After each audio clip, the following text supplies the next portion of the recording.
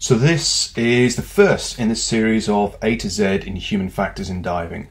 And the idea is to give you short two minute videos covering a number of topics across the concepts of human factors, non-technical skills in diving.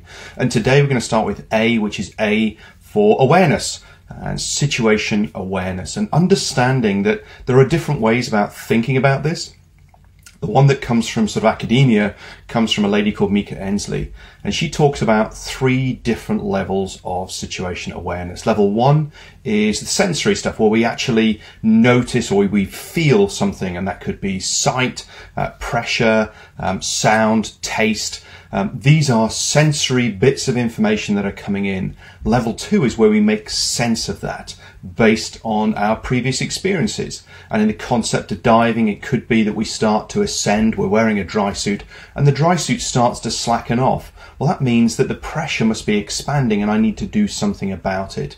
And that's what level three is about. It is the ability to project into the future. And that is also based on previous experiences. It is very difficult to predict what the future looks like if you've never encountered it before. Now, Sidney Dekker came up with this concept that trying to change attitudes towards loss of situational awareness. And he talked about loss of situational awareness, which is what you knew then compared to what I know now. I have an idea of what happens because I know what the outcome is and I can identify those relevant or important factors. When you're in it at that time, you don't know what the future looks like.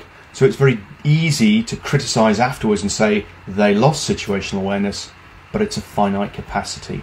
So situational awareness is three different levels sensory, understand now, and project into the future. We can develop that through practice and debriefing. So, A in the A to Z of human factors in diving is awareness, situational awareness.